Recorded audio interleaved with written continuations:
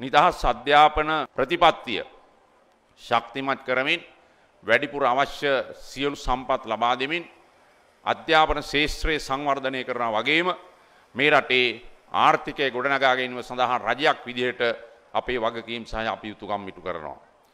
පසුගිය අවුරුදු එකහමාරක් තිස්සේ අපිට තිබෙන රටේ නියඟ එක් ප්‍රදේශයක වැඩි ප්‍රදේශයක අපේ ආහාර නිෂ්පාදනය පහත වැටුණා.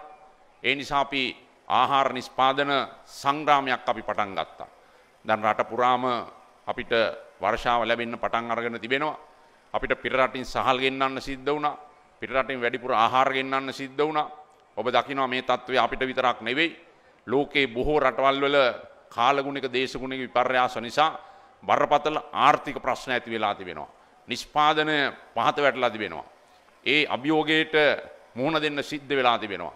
ඒ නිසා අපි අද මූලික වශයෙන්ම රටේ කෘෂිකර්මාන්තය ආහාර නිෂ්පාදන වැඩි කිරීම සඳහා ඒ ආහාර නිෂ්පාදන සංග්‍රාමය පටන් ගත්තා.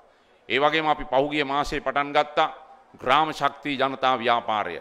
අපි දෙදස් දාහත වර්ෂය නම් කරලා තිබෙන්නේ දුගී බවෙන් නිදහස්වීමේ වර්ෂය විදියට අපි දෙදස් දහට මේ වනිට නම් කරලා තිබෙනවා දේශී ආහාර නිෂ්පාදන වර්ෂය විදියට අධ්‍යාපන සෞඛ්‍ය අනෙකුත් මහජන සුභසාධන සේවාවන් ශක්තිමත් කරන වගේම කෘෂිකර්මාන්තයට ආර්ථිකය කොට නගන්න අපි රජයේ ප්‍රමුඛතාවය දීලා තිබෙනවා. ලංකාවේ සියලු ප්‍රාදේශීය ලේකම් කොට්ටාස නියෝජනය කරමින් ග්‍රාම ශක්තිය ජනතා ව්‍යාපාරය තුල විශේෂයෙන්ම ගම්වල සිටින තරුණ දරුවන් නිර්මාණශීලී හැකියාවන් තිබෙන කුසලතාවයන් තිබෙන විවිධ වෘතීන්ගේ පුහුණුව තිබෙන ඒ පිරිස් සඳහා තමා අපි ග්‍රාම ශක්තිය ජනතා ව්‍යාපාරය පටන් අරගෙන තිබෙන්නේ. අපි අති විශාල මුදලක් රුපියල් කෝටි 600කට වැඩි මුදලක් මේ වසරේ වෙන් කරලා තිබෙනවා. ප්‍රාදේශීය ලේකම් කොට්ටාස මට්ටමින් ඒ මුදල් අපි වියදම් කරන්නේ ප්‍රධාන වශයෙන්ම ජීවනෝපාය සංවර්ධන ප්‍රධාන ව්‍යාපෘති විදිහට.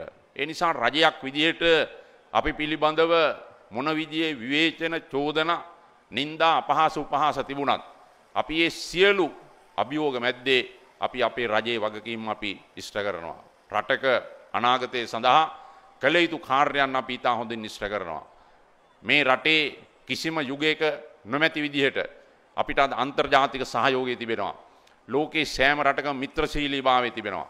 ජාත්‍යන්තර සංවිධානවල ආශිර්වාදය තිබෙනවා. ඒ ශක්තිය අපි පාවිච්චි කරන්නේ රටේ සංවර්ධනයට දරුවන්ගේ අනාගතයට. ඒ තුළ තමයි අපි රාජ්‍ය ප්‍රතිපත්තිය ක්‍රියාත්ම කරන්නේ අධ්‍යාපනය සෞඛ්‍ය කෘෂිකර්මාන්තය ප්‍රමුඛව අනික් සියලු කටයුතු සංවර්ධනය සඳහා.